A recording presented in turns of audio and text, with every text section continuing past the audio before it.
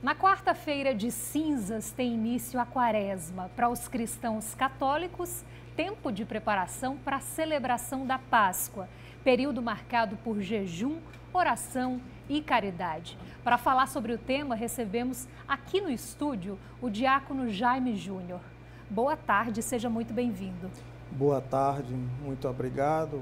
Eu espero aqui poder contribuir com essa conversa, esse bate-papo sobre a quaresma e a campanha da fraternidade. Na quaresma, o cristão ele é convidado a se preparar durante os 40 dias para a Semana Santa, que começa com o Domingo de Ramos, é isso?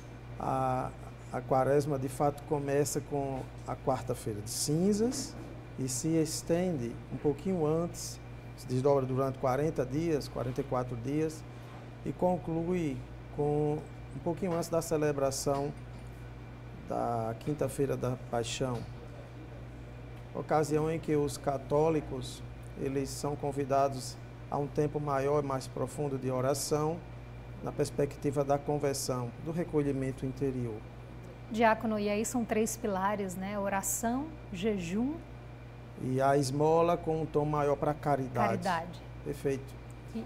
Essa é a dimensão da, do tempo da quaresma, porque o, o nome quaresma que vem de 40, remete, como você bem lembrou, aos 40 dias em que Jesus foi levado à experiência no deserto para um tempo de jejum e de oração, numa busca de intimidade maior com, para com Deus Pai. Mas também nós nos lembramos no Antigo Testamento de que o número 40 marcou os 40 dias que Moisés ficou no Monte Sinai, os 40 anos que o próprio Moisés conduziu o povo de Israel na busca da libertação e chegar à terra prometida. E os 40 dias que Noé na arca ficou sob chuva dia e noite, até que fosse encerrado o dilúvio. É nessa perspectiva que em 40 dias nós nos dedicamos como um tempo de preparação para a Páscoa do Senhor, que decorre do mistério da, da sua paixão, morte e ressurreição.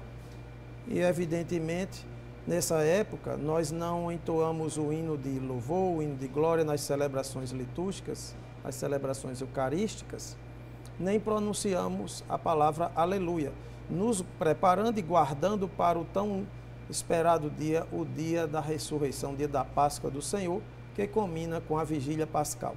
Aproveitando então, por que se usa cor roxa a cor roxa significa penitência. Então, ela indica mesmo um tempo de penitência para os fiéis.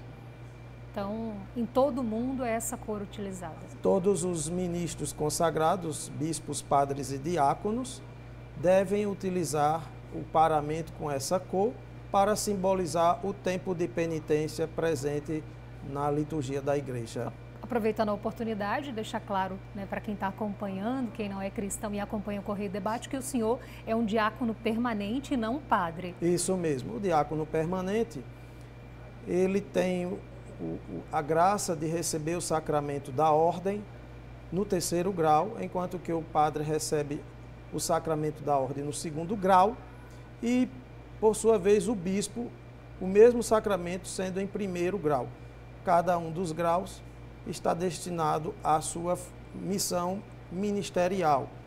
O padre, ele é sacerdote e, como tal, exerce o celibato, não pode se casar, nem, nem obter profissão. Ele é dedicado exclusivamente à comunidade paroquial. Enquanto que o diácono, em regra, tem que ser casado, no mínimo 10 anos de, de exercício matrimonial, sacramento do matrimônio, e tem que ter profissão definida para a sua sobrevivência. Durante esses 40 dias, né, durante a quaresma, o cristão acredita que é um tempo de conversão, isso porque lembra de todo o sofrimento de Jesus que ele passou para que pudesse morrer na cruz por nós? Exatamente.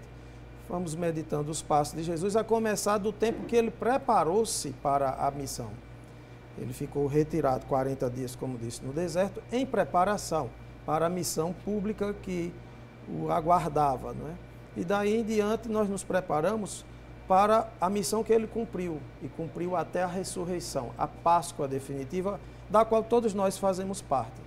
A Páscoa do Senhor é também a nossa Páscoa. Daqui a pouquinho, então, a gente volta a conversar, Diácono.